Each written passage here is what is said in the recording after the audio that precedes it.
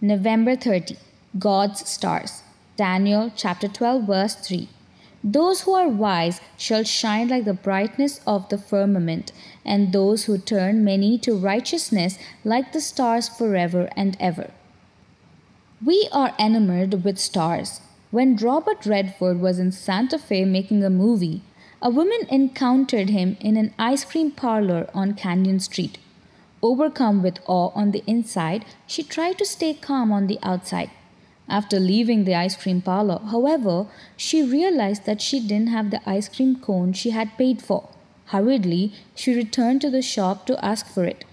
Redfords, overhearing the conversation, quietly said, Madam, you'll probably find it where you put it, in your purse.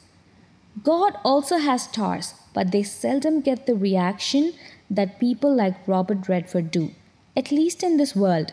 Yet, God's messenger told Daniel that those who turn many to righteousness will shine like the stars for all of eternity. Earthly stars from stage and screen fade away and are forgotten by later generations. But God's stars are eternal. Righteousness, in its simplest form, is having a right relationship with God.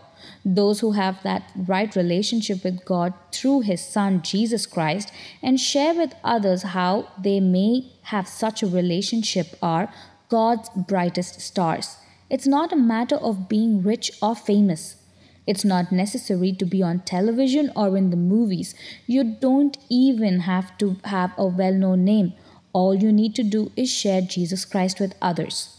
Do you want to be a star for God? Do you want to shine forever?